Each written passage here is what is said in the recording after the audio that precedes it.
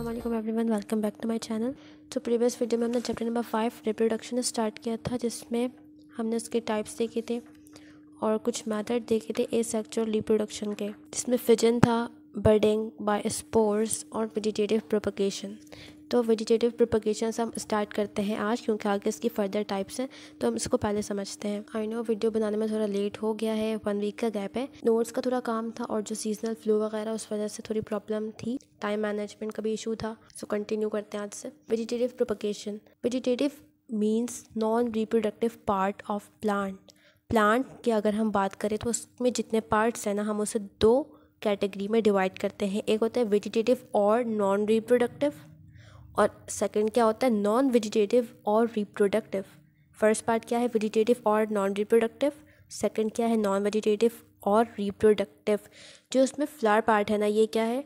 Reproductive यहाँ पे sexual reproduction होती है। और फ्लावर के अलावा जो पार्ट्स हैं लाइक स्टेम लीव्स रूट ये सारे क्या हैं? वेजिटेटिव पार्ट जिसका सेक्चुअल रिप्रोडक्शन से कोई ताल्लुक नहीं है। इनका रोल कहाँ पर है? ए सेक्चुअल रिप्रोडक्शन में। तो वेजिटेटिव प्रोपगेशन में होगा क्या कि जो वेजिटेटिव पार्ट हैं प्लांट के मीन्स जो नॉन रिप्रोडक्टिव पार्ट्स हैं लाइक रूट है stem leaves like thallus root stem leaf if any of this part develop into new plant call vegetative propagation के अगर इनमें से कोई पार्ट एक सेपरेट ऑर्गेनिज्म में डेवलप हो जा रहा है, एक न्यू प्लांट बना रहा है तो उसको हम क्या कहेंगे? Vegetative propagation these part sooner or later separated from parent plant these specialise vegetative organ उससे हम डिफरेंट नाम देते हैं डिफरेंट स्पीशीज़ में. जैसे कि रनर्स हैं ग्रास और स्ट्रॉबेरी में स्टोलन राइसोम्स डिफरेंट स्पीशीज़ हैं। जैसे कि जिंजर इसमें क्या है? राइसोम बल्ब है अनियन और गार्लिक में। स्टैम ट्यूबर है पोटैटो में। तो इस तरह डिफरेंट स्पीशीज़ में जो वेजिटेटिव पार्ट्स हैं, उनके डिफरेंट नाम है, जो कि इस सेक्सुअल रिप्रोडक्शन कर रहे हैं। So these specialise vegetative organ are morphologically different ये मॉर्फोलॉजिकली डिफरेंट होंगे डिफरेंट जो स्पीशीज़ है प्लांट की इट मीन्स वो दिखने में इनका स्ट्रक्चर डिफरेंट होगा. But usually in all cases they bear one or more bud which develop into new plant यहाँ पर कुछ डिफरेंसेस हैं, ये हम बाद में करेंगे, क्योंकि जब हम दोनों पढ़ लेंगे, तभी हम उसमें डिफ्रेंशिएट कर सकते हैं इसलिए अब यहाँ पर कुछ मैथड्स हैं, ये सारे नेचुरल मैथड्स हैं वेजिटेटिव प्रोपगेशन के, जो कि नेचुरली हमें दिख रहे होते हैं. Vegetative propagation in plant through stem suckers और leaves So new plant can be produced from vegetative structures such as the root stem, suckers, leaves.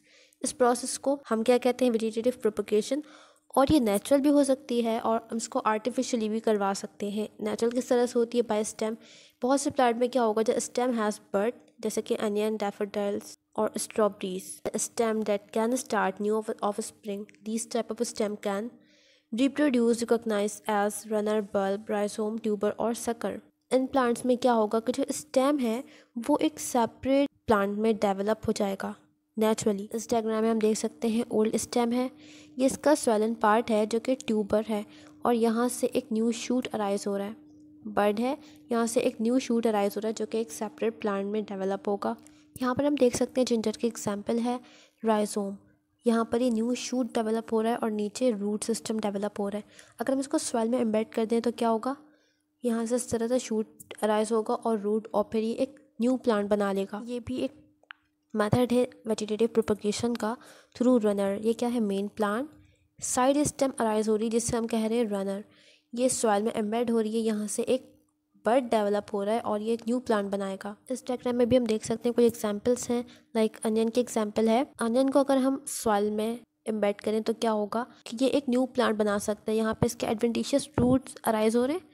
इस सॉइल में जब हमने इसे डाला है तो क्या हुआ? यहाँ से एक शूट सिस्टम डेवलप होना स्टार्ट हुआ और रूट डेवलप होना स्टार्ट हुई और फिर ये एक न्यू प्लांट बन जाएगा। इसी तरह से हमारे पास पोटैटो के एग्ज़ाम्पल है। यहाँ से भी शूट अराइज हो रहा है और इस तरह से ये एक सेपरेट प्लांट में डेवलप होगा। तो कुछ हमने एग्जाम्पल्स देखी कि स्टेम से किस तरह से वेजिटेटिव प्रोपगेशन होती है नेचुरली अब हम देखते हैं कि लीव से कैसे हो सकती है वेजिटेटिव प्रोपगेशन तो some leaves have bud on their margin like bryophyllum ये एक एग्ज़ाम्पल है।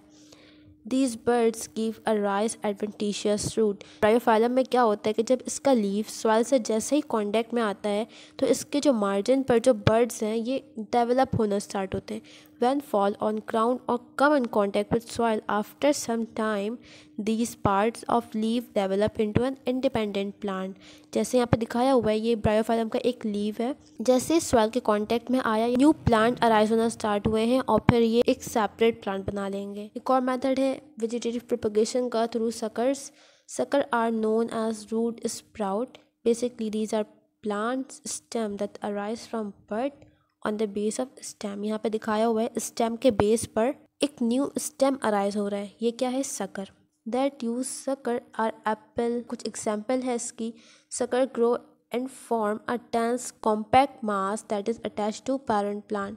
Too many sucker can lead to a small crop. ये सकर को बेसिकली सेपरेट कर देते हैं प्लांट बॉडी से क्योंकि होता क्या है जो प्लांट की न्यूट्रिशन है ना ये उसको लेना स्टार्ट करता है जिसकी वजह से न्यूट्रिशन प्लांट को नहीं मिलती सही तरह से और फिर प्लांट की जो ग्रोथ है वो अफेक्ट होती है। सो so, अब कुछ मैथड हैं आर्टिफिशियल वेजिटेटिव प्रोपगेशन के जो कि हम आर्टिफिशियली करवाते हैं।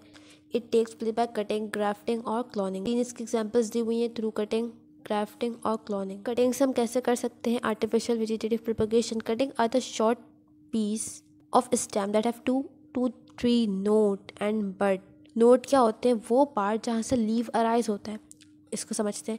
ये क्या है? एक स्टेम इस पॉइंट से लीव अराइज होगा। ये क्या है? नोट यहाँ से लीव अराइज हो रहा है। ये क्या है? एक नोट यहाँ पे लीव अराइज हो रहा है। ये क्या है? नोट तो वो पॉइंट स्टेम पर जहाँ से लीव अराइज होते हैं, वो क्या होते हैं? नोट और दो नोट के बिटवीन जो डिस्टेंस है, ये होता है इंटर नोड इंटर नोड क्या है? डिस्टेंस है बिटवीन टू नोड नोड क्या है? जहाँ से लीव अराइज होते हैं, वो पॉइंट्स स्टेम पर।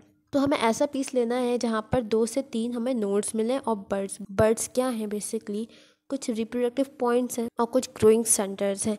इट कट ऑप्लिकली इसे हमने कैसे कट करना है? ऑप्लिक इट में थोड़ा सा इससे ट्रांसफर्स फॉर्म में कट करना है। To a node from a plant the cutting embedded in soil with at least one node अब द सॉइल अब हमने क्या करना है कि जो कटिंग जो हमने कट किया, जिस पार्ट को उससे हमने सॉइल में एम्बेड करना है। इस तरह के एक नोड सॉइल से ऊपर हो।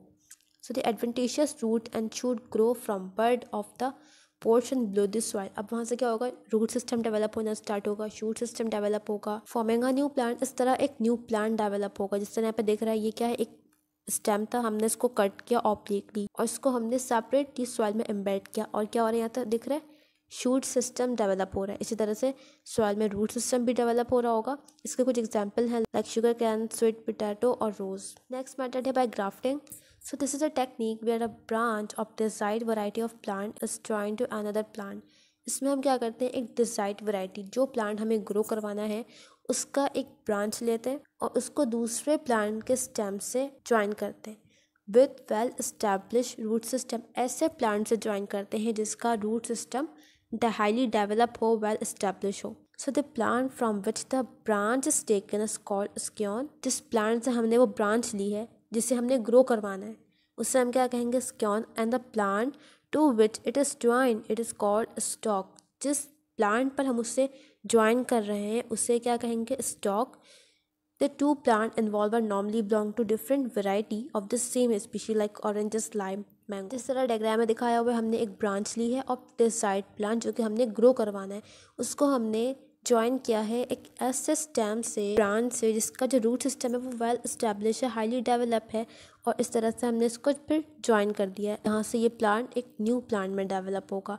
तो ये मेथड क्या है? आर्टिफिशियल मेथड है डिजिटिव प्रोपोगेशन का that is grafting next method है cloning tissue culture technology it is one of the recent technique in this method tissue of selected plant जो प्लांट हमने ग्रो करवाना है आर्टिफिशियल हम कर ही क्यों रहे हैं? क्योंकि हमें डिज़ाइड वैरायटी चाहिए प्लांट की।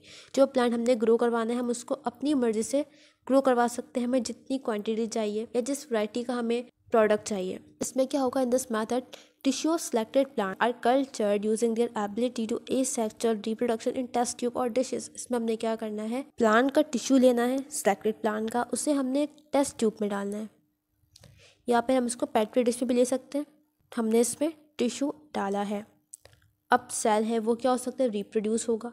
थ्रू माइटोसिस क्योंकि ये ए सेक्चुअल रिप्रोडक्शन है ए सेक्चुअल माइटोसिस से ही होती है। सो so, अगर ये टिश्यू नॉर्मली बॉडी में लिविंग बॉडी में डेवलप हो रहा है तो उससे तो तमाम इन्वायरमेंट मिल रहा है जो भी एंजाइम उसे रिक्वायर है वो मिल रहे हैं जो भी हार्मोन उसे रिक्वायर है जो भी चीज़ें उसे चाहिए नॉर्मल रिप्रोड्यूस होने के लिए ग्रो होने के लिए, वो उसे हमारी बॉडी में मिल रही है। लेकिन अगर हम उसे आर्टिफिशियली ग्रो कर रहे हैं तो फिर हमें ज़रूरी है कि हम उसको वो मीडियम प्रोवाइड करें। So to speed up the growth hormone are added in the growth medium हम उसमें जो भी रिक्वायर्ड सब्सटेंसेज हैं, वो डालेंगे। After some time the baby plant is transfer to field for large commercial scale production अब क्या हो रहा है? उस टिश्यू से एक बेबी प्लांट बन चुका है और फिर हम उससे सेपरेटली सॉइल में एम्बेड करेंगे और फिर वो न्यू प्लांट में डेवलप होगा। क्लोनिंग का प्रोसेस हम एनिमल्स में भी करवाते हैं। नेक्स्ट टॉपिक है हमारे पास apomixis known as parthenogenesis is the type of asexual reproduction ये भी क्या है? ए सेक्चुअल रिप्रोडक्शन की एक टाइप है। Apomixis is the type of seed production ये क्या है? एक टाइप है सीड प्रोडक्शन की without fusion of male and female gamete plant में भी गैमीट्स होते हैं? जब हम इसमें सेक्चुअल रिप्रोडक्शन पढ़ेंगे तो हम देखेंगे। तो यहाँ पे क्या हो रहा है? सीड बन रहा है। Without fusion of male and female gamete seed normally बनेगा कब? जब मेल और फीमेल गैमीट फर्टिलाइज होंगे, लेकिन यहाँ पे विदाउट फर्टिलाइजेशन सीड प्रोडक्शन हो रही है। It is a type of parthenogenesis which is the form of asexual reproduction where an egg develop into a complete individual without being fertilize इसमें क्या होगा? जो एग है, वो एक सेपरेट इंडिविजुअल में डेवलप होगा without any fertilization so the resulting offspring जो बन रहा है कैन बी आइदर हैप्लॉयड और डिप्लॉयड कि उसमें जो नंबर ऑफ़ क्रोमोजोम्स हैं, वो हाफ़ भी हो सकते हैं और कंप्लीट भी हो सकते हैं depending on the process and the species this is the natural form of asexual reproduction parthenogenesis most commonly found in plants और इन इनवर्टिब्रेट्स इसके एग्जांपल्स में आते हैं हनी बीज आंट्स ये जो इन्वर्टिब्रेट्स हैं बेसिकली पे इन्होंने क्वेश्चन भी लिखा हुआ है कि अगर इसमें गैमेट इन्वॉल्व है तो हम इसे क्यों ए सेक्चुअल रिप्रोडक्शन कह रहे हैं? तो इसका रीज़न बेसिकली ये है कि यहाँ पे गैमेट्स तो इन्वॉल्व हैं, लेकिन यहाँ पे फर्टिलाइजेशन नहीं है। Because this process doesn't require fusion of gametes तो इसीलिए हम इसे क्या करें कि ये ए सेक्चुअल रिप्रोडक्शन है, यहाँ पे सिर्फ़ एक जेंडर इन्वॉल्व है। सेक्चुअल रिप्रोडक्शन तो तब होगा जब यहाँ पे दो डिफरेंट जेंडर्स और दो डिफरेंट गैमीट्स हो, और फिर उनकी फर्टिलाइजेशन भी हो, और फिर जो रिजल्टिंग हमारे पास साइकॉट है, जो एम्ब्रो है, वो डेवलप हो एक न्यू प्लांट में।